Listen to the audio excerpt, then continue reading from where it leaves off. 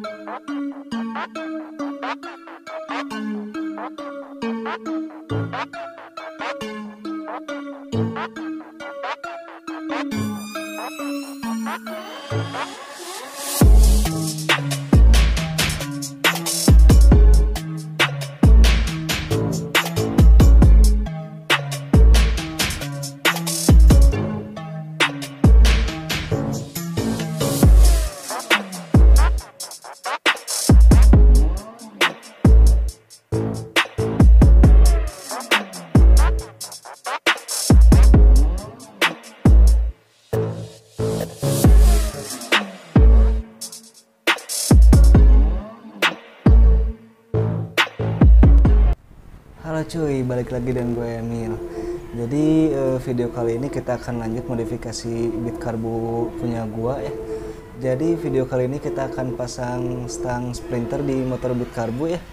Jadi eh, stang sprinternya ini baru datang. Sebenarnya ini gua pesen warna hitam ya, tapi karena nggak ada, jadi dikirimnya yang warna krum gini. Tapi nggak apa-apa, nanti kita cat ulang aja warna hitam. Eh, jadi selain pasang stang sprinter nanti kita akan pasang selang rem TDR ini ya. Yang ukurannya 90 mm kenapa harus ganti selang? Karena kemarin kan gua pakai selang yang ukurannya 120 karena motornya tinggi sekarang karena ganti konsep jadi gua ganti. Eh jadi pemasangannya bukan sama gua ya jadi kita bawa aja ke bengkel karena kita nggak punya alat bornya.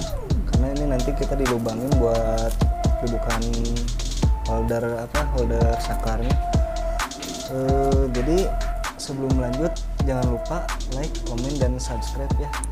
Dan juga aktifkan lonceng notifikasinya ya biar nggak ketinggalan episode selanjutnya. Oke kita lanjut. Ini dia cuy. Eh, untuk saklarnya kita masih pakai yang kemarin ya yang sisa bawa stang 4 bar yang ini sama. Kita meski pakai saklar yang kemarin dari saklar fiction. Itu dia eh, stang sprinternya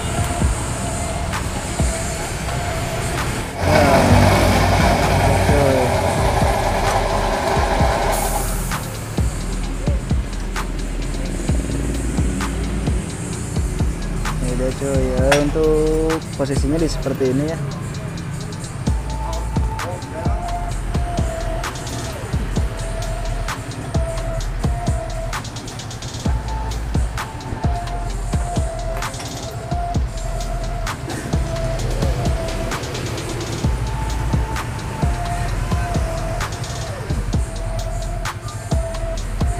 Untuk dudukannya masih sama pakai dudukan stand strip dari poskom strip ya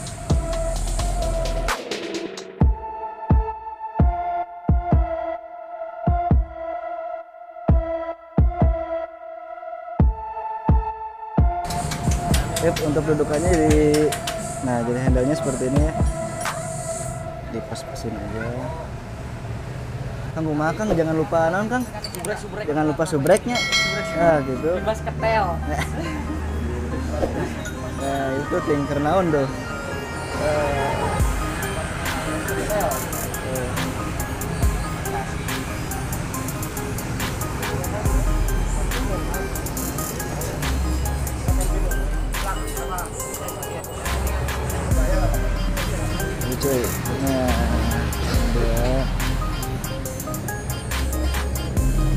panjang teuing tuh nya kang Hah? bisa dipotong bisa tapi kewenya mas kenalannya ya siap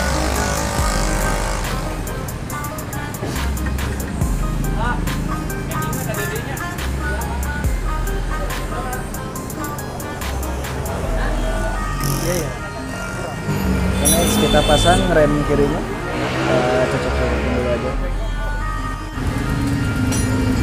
kalau kalian nggak mau ribet jadi kalian tinggal potong aja eh, dudukan. Anci kang namanya begitu pasti ya nah pepentil nah ya tinggal potong nya Eh, jadi supaya tinggal nempel di stang ya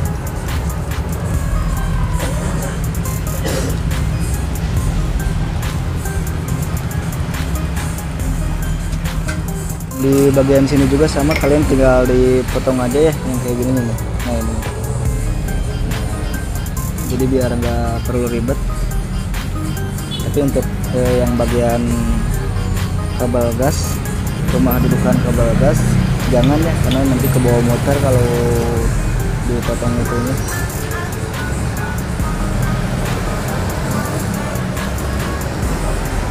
untuk pemasangan yang sebelah kiri sudah beres kita lanjut yang sebelah kanan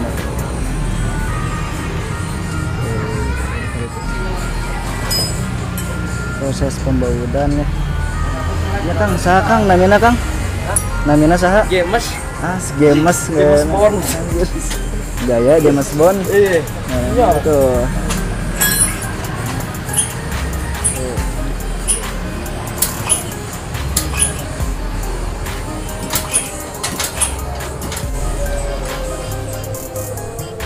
cuy karena yang kemarin selangnya panjang ya jadi kita ganti aja Udah ganti aja ya guys. ah kuma kuma Kita ganti aja guys. Anjay. Yang pegang dulu, ya. Aduh. Lur. jadi ini yang bengkoknya di bawah ya buat di kaliper yang bagian lurusnya nanti bagian di atasnya master rem nah ini dia ini bengkok ya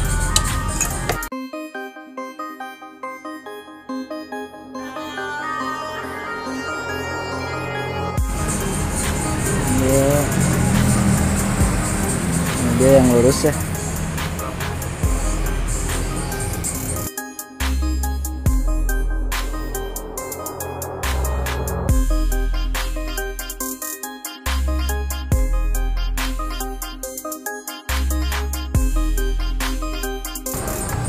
Ini untuk ringnya ada dua ya yang di dalam satu yang di luarnya satu. Kalau nggak pakai ring nanti paling bocor bocornya kang. Bocor. Oh bocor. Bocor pakai notro.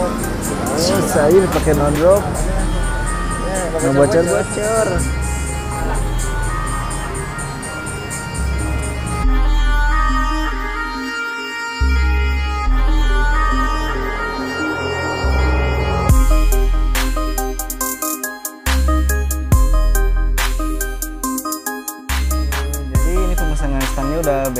ini bagian eh, bagian dari sampingnya terlihat seperti itu. Agak nekuk kita lihat bagian dekatnya. Ini bagian ini yang terlihat dari bagian belakangnya. Di sini stangnya agak nekuk ke belakang yang ini juga sama ya. Sekarang kita lihat posisi tangannya seperti apa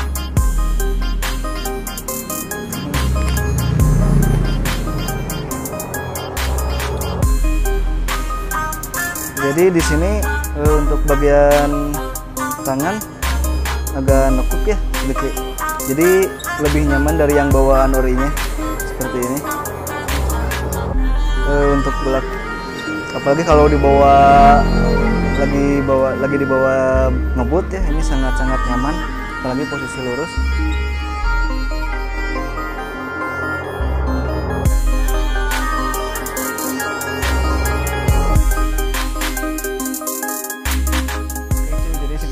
videonya ya. Semoga kalian terinspirasi untuk yang suka modif ya. Eh, jadi di sini gua akan terus lanjut modifikasi motor gua ya motor Beat Karbu. Eh, jadi kalian kalau penasaran tinggal subscribe aja, nyalain juga notifikasi loncengnya. Kalau kalian mau tanya-tanya, kalian tinggal komen aja di bawah. Oke, dengan gua ini cabut dulu.